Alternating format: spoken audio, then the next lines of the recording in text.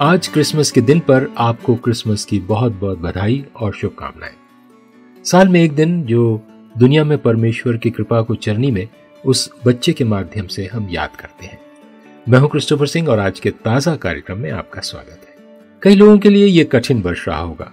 वास्तव में आप जीवन से इतने आहत महसूस कर रहे हैं कि यीशु को आपके लिए इस धरती पर भेजने के लिए परमेश्वर को धन्यवाद देना और उससे आँखें मिलाना शायद मुश्किल है।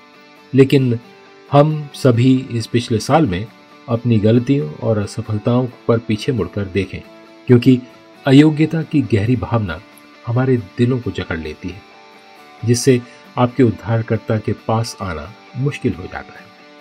अगर शायद ये आपके लिए सच है तो मेरे पास आपके लिए एक सनसनीखेज खबर है।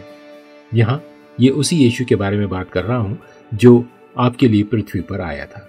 बाइबल में लिखा है, इब्रानियों, उसका चौथा अध्याय, चौदह से सोलह वचन तक। सो जब हमारा ऐसा बड़ा महायाजक है, जो स्वर्ग से होकर गया है, अर्थात परमेश्वर का पुत्र यीशु तो हाउ हम अपने अंगीकार को दृढ़ता से थामे रहे, क्योंकि हमारा ऐसा महायाजक है, जो हमारी निर्बलताओं में, हमारे साथ दुखी ना हो सके। वरन वो उन सब बातों में हमारी नाई परखा गया तो बिल्कुल निष्पाक निकला।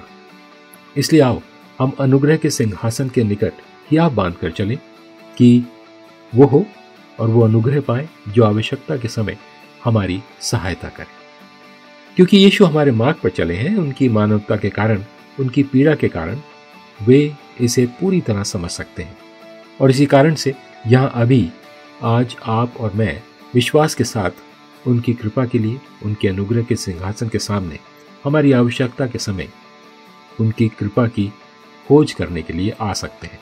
बिल्कुल नए सिरे से। यही क्रिसमस है और यही यीशु है। आप सभी को एक बार फिर से क्रिसमस की बहुत बहुत शुभकामनाएँ। ये परमेश्वर का ताज़ा वचन है आज आपके लिए।